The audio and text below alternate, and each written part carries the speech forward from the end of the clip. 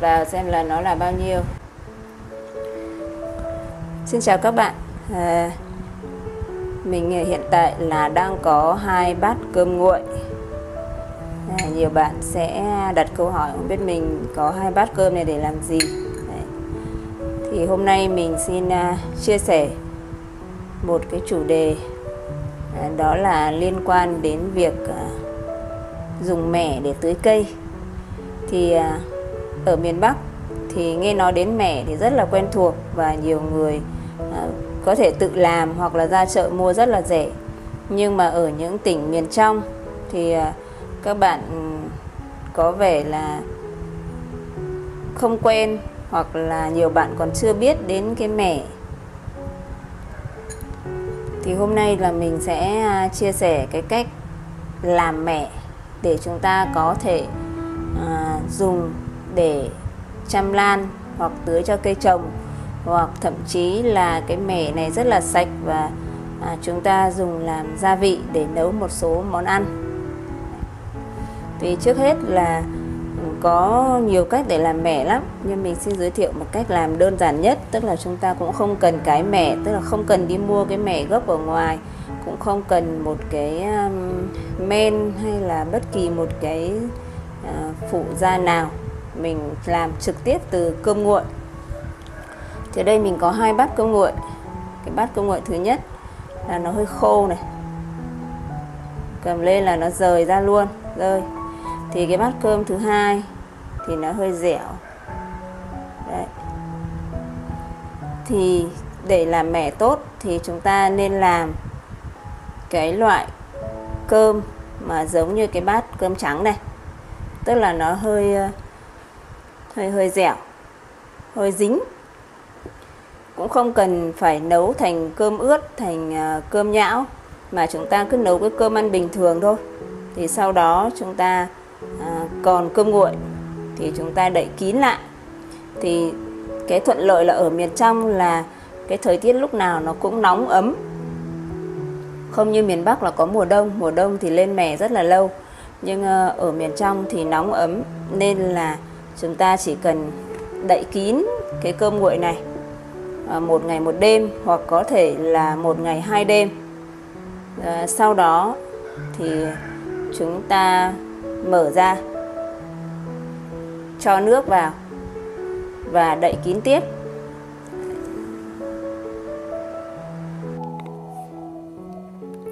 Như vậy với cái chỗ cơm mà chúng ta đã đậy kín đó thì bây giờ đủ thời gian để nó thiêu và nó bắt đầu ướt ướt nhất nhất thì chúng ta bắt đầu đổ nước vào. À, các bạn lưu ý là cái cơm nó vẫn còn phải trắng nhé không được có mốc xanh mốc vàng. Mốc xanh mốc vàng thì chúng ta nên bỏ bởi vì nếu mẻ mà làm sạch thì sau này chúng ta còn có thể à, cho vào các cái món ăn để làm gia vị. Đấy. thì chúng ta không nên uh, dùng cái mẻ khi mà cái cái cái mẻ đã bị mốc xanh mốc vàng như vậy. Và cái uh, dụng cụ để đựng. Thì nếu mà dùng mẻ để uh, ăn thì chúng ta nên đựng vào hũ thủy tinh. Và đây là một cái uh, hũ mà mình đã uh, cho nước vào giống như vừa rồi. Và để uh, đến hôm nay là được uh, tầm uh, một tuần. Hơn một tuần. Thì cái cái cái cái mẻn, cái cơm này nó đã nát ra rất là nhiều. Và nó dậy cái mùi chua rất là nhiều. Đấy. nó vữa nát ra. Thì các bạn để thêm một tuần nữa là chúng ta có thể dùng được. Cái khí hậu ở cái mùa, thời tiết mùa này là nó à, nóng ẩm. Nên là khoảng 2 tuần là chúng ta dùng được. Mà không cần phải cho thêm à, men hay là một cái gì hỗ trợ hay là cái mẻ hay cái gì cả. Chúng ta bắt đầu làm từ cơm nguội là được. Đây là những cái à,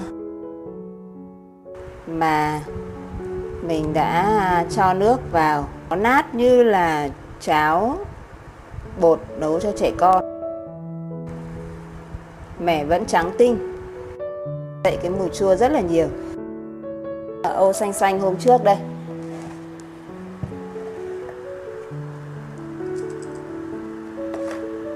Nó vẫn là nước. Ở đây hôm nay mình cho hơi nhiều nước thì nước nó vẫn rời này. Đấy. nó vẫn chưa ngấu bằng hai cái ô kia. Ô xanh này là sau cùng. Sau đó đến cái ô inox. Và cuối cùng là cái ô này là mình ủ đầu tiên. Mình ngâm đầu tiên. Thì bây giờ nó đã rất ngấu rồi. Như vậy là chúng ta có thể mang ra để dùng để nấu ăn hoặc là tưới cho cây trồng được rồi. Thì cái à, liều lượng tưới như thế nào? Thì bây giờ mình sẽ à, thử pha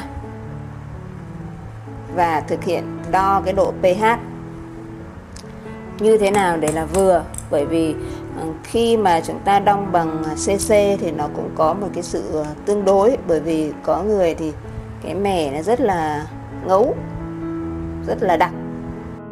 Có người thì cái mẻ lại loãng và chưa ngấu lắm. Đấy. thì bây giờ chúng ta lấy cái chuẩn như thế nào cho nó dễ hình dung thì à, mình sẽ à, thực hiện phần pha mẻ để tưới lan sau đây. Như vậy là mình đã có một cái bình mẻ rất là đẹp rất là ngon. Trắng. Trắng tinh luôn. Và đựng trong bình thủy tinh này để sau này mình có dùng để uh, nấu đồ ăn thì là vô tư sạch các bạn nhé bây giờ mình sẽ uh, thực hiện cái việc pha cái dung dịch mẻ để tưới cho lan tưới cho cây trồng.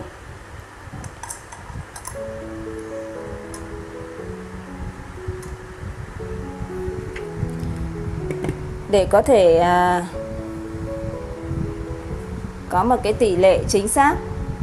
Khi mà pha cái dung dịch mẻ để tưới cây thì à, các bạn nên à, mua một cái dụng cụ đo pH cái này trên mạng bán rất là nhiều.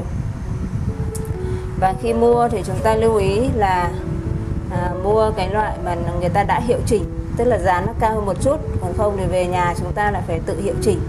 À, thì cũng được không sao cả.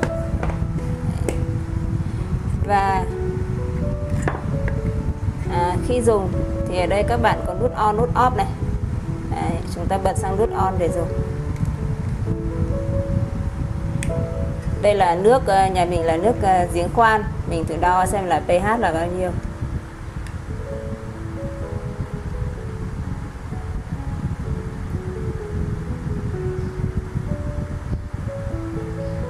Khoảng ờ, 5,1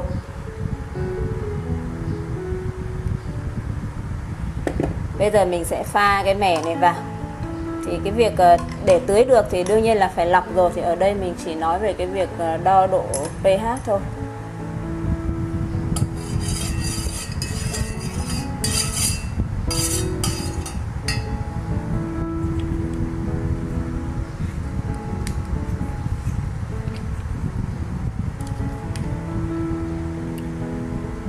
Mình thử đặt vào xem là nó là bao nhiêu.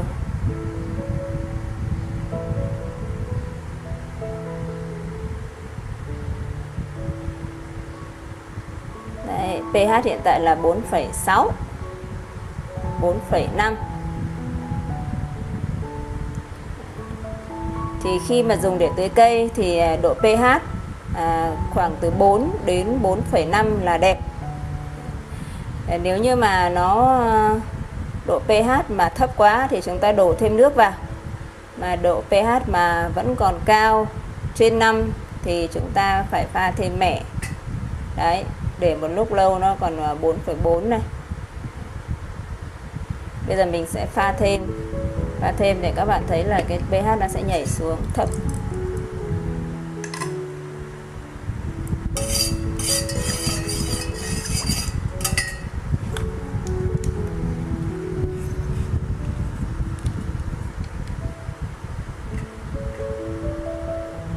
Đấy. Để xuống 3,9 cái này là hơi chua. Tưới cho cây trồng là hơi chua. Chúng ta 3,94 phẩy nó không chênh nhau lắm. Thì chúng ta cứ lấy cái khoảng từ 4 đến 4,5 là đẹp nhất. Và khi dùng xong thì các bạn nhớ là tắt cái công tắc này về nút off. Đấy. như lần trước mình dùng là mình quên khi mà cất là vẫn còn để ở nút on. Thế là vừa nãy mang ra để để à, dùng để đo thì là hết sạch pin mình vừa phải chạy đi mua pin về mới mới quay tiếp được cái video này đấy ạ. Đấy. chúng ta nhớ là tắt công tắc và rửa sạch cái ờ, đầu mà chúng ta vừa nhúng đo này đi. Và sau đó cất lại vào hộp như bình thường. À, như vậy là à, mình vừa hướng dẫn các bạn à, các cái gọi là công đoạn thì chẳng có công đoạn gì nhỉ? Chỉ là lấy cơm đặt đậy nắp kín rồi ủ vài ngày để thành một cái à, món mẻ à, rất là hữu dụng trong à, à, việc bếp núc và cả chăm bón cây trồng. Thì cái này các bạn có thể thỉnh thoảng các bạn mở nắp ra à, lấy một chút ờ, không khí để cho à, mẻ nó sống. À, rồi chúng ta lại đóng nắp vào lâu lâu bỏ ra khoảng 1 2 tiếng rồi chúng ta lại đóng nắp vào và nhớ là cất ở chỗ mát nhé không để nơi nắng nóng. Rồi, xin chào các bạn.